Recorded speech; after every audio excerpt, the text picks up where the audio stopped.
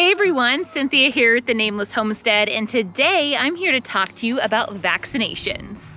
As we prepare for our 2021 kids to go off to their new homes, we are giving out CDT vaccinations. It is very important to us as a homestead to send our kids off out into their new pastures with the best possible start in life, and part of that is making sure that they are fully vaccinated. Hi, you. You're such a nuisance. I'm trying to film here. Go away. Shoo. I've seen a lot of questions lately about what the vaccines for goats prevent, what the schedule is to vaccinate them, and a lot of questions about the risks and benefits of vaccinating your goats. Hello, get out of my way. So today we're gonna go over all of those things so that you can make the best and most informed decision for the health of your herd. That is assuming Puck will let me.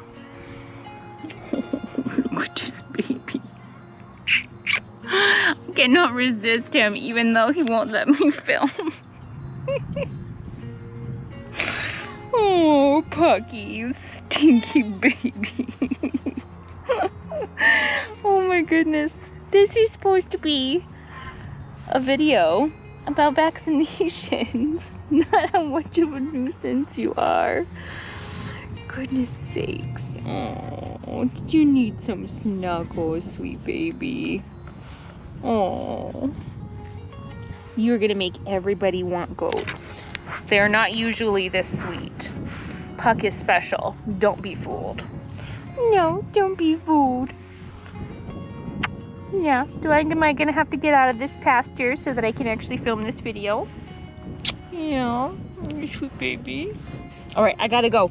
We gotta talk about vaccines. We gotta go. We cannot be here with you, stinky face. Gotta educate the public. Okay, so clearly as good as my intentions are, there's no way I'm filming this video in the pasture because these little rod monsters are not gonna let me. So let's have a change of pace. Okay, so as adorable as Puck is, he makes it darn near impossible to actually film outside in the pasture like I originally wanted, but we need to get this information out there as it's very important, so let's go. This is a bottle of CDT vaccine. You can get it over the counter at most farm and feed stores or online at places like jefferspets.com. You don't need a prescription and it's very inexpensive. This little bottle is $10 and it has enough doses for 20 goats. So first let's address exactly what we're even vaccinating against. CDT vaccination helps to prevent three illnesses. The C and D in CDT stands for Clostridium perfringens. Clostridium perfringens. Clostridium perfringens. This is a very difficult word for me to pronounce. We're gonna go ahead and go with Google. Clostridium perfringens. Clostridium perfringens. Clostridium perfringens. Clostridium perfringens. That sounds wild and crazy, but we're gonna go with how that's pronounced. I might know a lot about goats, but you know, medical terminology is a crazy animal of its own. But regardless of its medical terminology, you may have also have heard these diseases referred to as enterotoxemia or overeating disease more commonly. The T in CDT stands for Clostridium tetani, which we know commonly as tetanus. Clostridium perfringens, C and D, most commonly affects single kids or lambs that are nursing from very heavy milkers and animals that are on very high calorie diets. It's caused by when the Clostridium bacteria, which is naturally present in the goat's digestive tract, grows wildly out of control. This generally happens when the gut motility is slowed because of the overeating of grains, spring pasture, milk, or milk replacer. The symptoms are indigestion, convulsions, and other nervous system system signs such as colic and sudden death. For tetanus, the common symptoms are stiffness and spasms, bloat, panic, unco uncoordinated walking, or the inability to eat or drink. Death is inevitable and usually the animal passes within three or four days of onset of symptoms.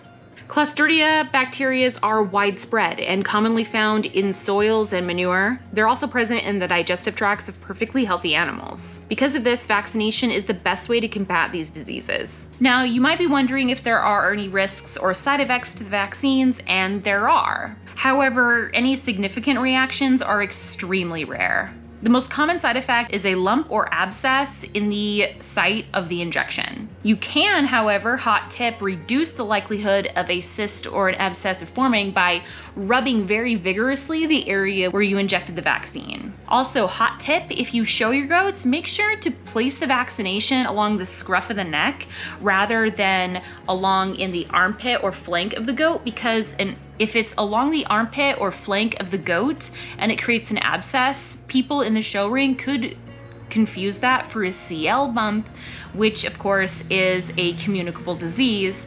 So make sure you place your vaccinations in an area that isn't near a lymph node, otherwise you might cause some confusion and stress for yourself later on down the road. If you all like, we can touch on CAE, CL, Johne's disease, and other communicable diseases amongst goats. Be sure to hit the like button and comment down below if that's something you would like to touch on. I would be happy to make a video on that as well. The only severe reaction really to be concerned about with this vaccine is anaphylaxis. Anybody can be allergic to anything, and the same thing goes with goats. This is why epinephrine is a good idea to have in your emergency medical kit for your animals. Now let's move on to the vaccine schedule. There are two different vaccine schedules. One is for kids that were born to a mother who was vaccinated for her yearly booster a month before kidding. And the other is for kids who were born to a mother with an unknown vaccine history or who has not been vaccinated or given their yearly booster. Kids born to a vaccinated dam should receive their first vaccine at five or six weeks old, and then they should be given a booster three to four weeks later. Kids born to a dam with an uncertain vaccine history or who hasn't been vaccinated or given their booster within a month prior to kidding should be vaccinated at 7 to 21 days of age and then given their booster three to four weeks later. Of course, it's also important to make sure to note that this is a vaccine that requires a yearly booster and to notate the date of the last vaccine given so that you can try to get as close to that schedule as possible, give or take a few weeks. If any of you guys are worried about vaccinating your goats or doing injections, a CDT vaccine is a super simple subcutaneous injection and I have also done a video all about how to do subcutaneous injections. I will link to that in the card above. It is super easy you guys. If I can do it, you certainly can.